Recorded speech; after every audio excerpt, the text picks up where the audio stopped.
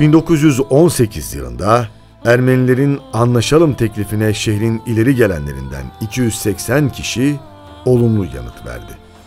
Biti versin şu zulüm diye düşünen 280 gönüldaş camiye sevinçle girdiler. Sonra bir kara bakış, bir siyah duman ve yanan Türkler. Ulu cami duvarlarında huzur, kardeşlik, komşuluk eriyordu. Ermenilerin anlaşma teklifi bir kandırmacı olarak tarihe yazılıyordu. Zulmün dibinde duvarlara kan bulaşıyordu.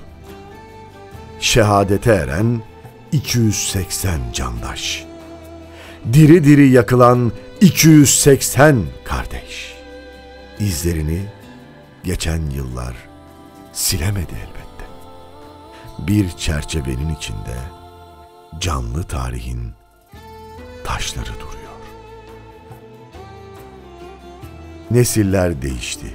Yalnız beyaz sakallarına giden avuçlarıyla hüzne bulananlarımız kaldı. Acıdan günümüze yadigar.